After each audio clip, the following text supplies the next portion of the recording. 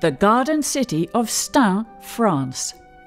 Stains, a so called garden city north of Paris, built in the 1920s and 30s, had become shabby and neglected. From 2004 on, a determined effort has been made to reinvigorate the original Garden City vision. The jury hails the effort to re establish the ideals of hope and to bring benefits to the present community, leading to a renewed sense of civic pride today and in the future. Prize winner in the category Education, Training and Awareness Raising, the Garden City of Stains, France.